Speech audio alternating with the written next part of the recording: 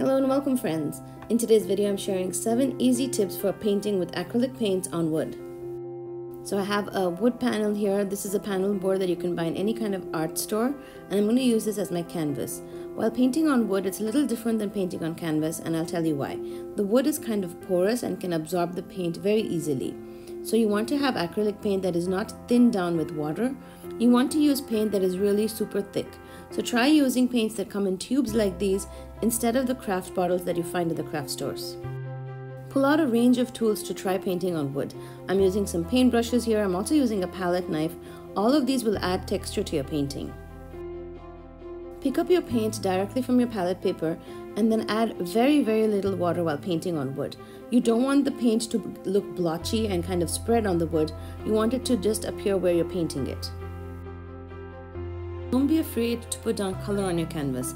Unlike watercolors, you can layer paint upon paint while using acrylics. So this is a great way to learn and make mistakes that you can easily fix. Add texture to your painting using a palette knife and creating these stroke marks.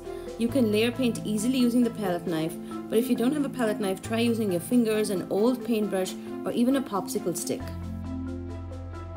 I also like to use my dry paintbrush to just scoop paint up and kind of layer it on top. This adds another layer of color and also dimension and that thickness sits nicely on top of the wood canvas especially and contrasts against the texture. I love how this one turns out.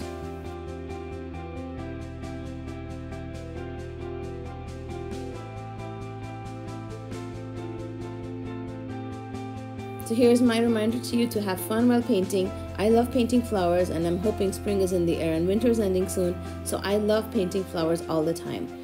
Choose something that you enjoy painting, practice it, have fun.